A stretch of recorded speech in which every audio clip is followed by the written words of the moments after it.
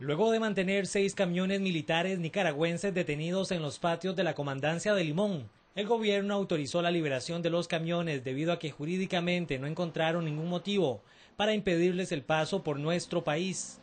Los automotores fueron detenidos en horas de la tarde sobre la ruta 36 en un retén policial que realizaba la fuerza pública.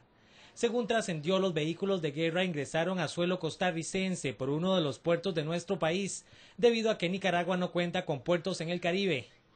Ronnie Sánchez de la Fuerza Pública conversó con Extra Noticias. Teníamos un retén policial acá en esta zona y detectamos estos seis vehículos eh, pintados de forma militar. Son vehículos Mercedes-Benz.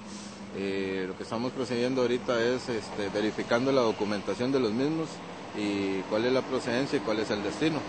Eh, vamos a, a, verificar con la gente de aduanas si, si, los documentos y todo están en regla para ya descartar la situación. Eh, a lo que se puede ver son vehículos militares pintados de la misma forma, eh, con, con choferes este, meramente particulares, los mismos son costarricenses. Sí.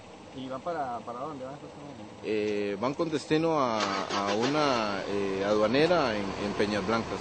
Los camiones de guerra son una donación que Alemania hizo a Nicaragua.